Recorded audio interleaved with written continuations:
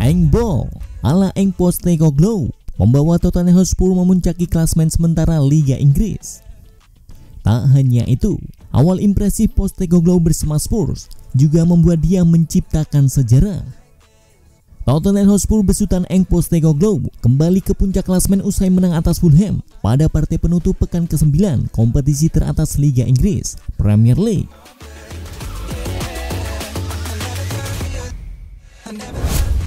Bermain di Tottenham Hotspur Stadium, Armada Eng Postecoglou sukses melibas Fulham dengan skor 2-0. Dua gol kemenangan Tottenham masing-masing dicetak oleh Song Yung Min pada menit ke-36.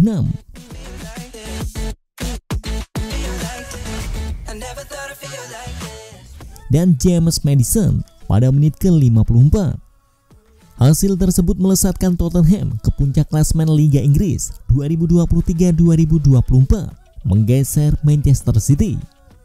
Spurs bertengger di puncak klasmen dengan nilai 23 poin unggul 2 poin atas Manchester City yang pekan ini menang 2-1 atas Brighton.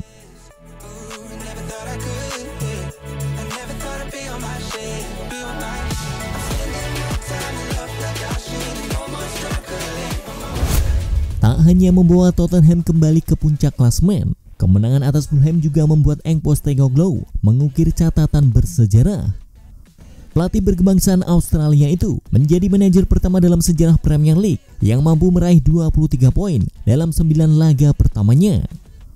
Bersama Postecoglou, Spurs juga mencatatkan start terbaik kedua mereka di kompetisi teratas Liga Inggris sejak diterapkannya sistem 3 poin untuk setiap kemenangan.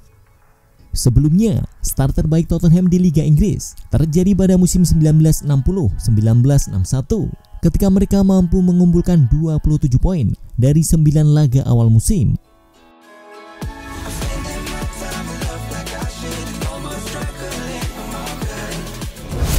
Performa apik Tottenham Hotspur di bawah komando Eng Postecoglou itu pun mendapat pujian dari mantan back Liverpool yang kini menjadi pandit Sky Sport, Jimmy Carragher. Carragher menyebut Tottenham dengan Postecoglou memainkan sepak bola berani yang membuat para penonton senang. Sebagai penggemar Spurs, tidak terlalu terbawa suasana tentang memenangkan gelar juara. Mereka akan cukup senang jika bisa tampil di Liga Champion musim depan. Sudah lama sekali Spurs mengalami kesulitan dan sekarang gaya permainannya kembali menggairahkan. Tottenham memainkan sepak bola yang sangat berani. Para penggemar senang menonton tim mereka lagi. Ucap Carragher.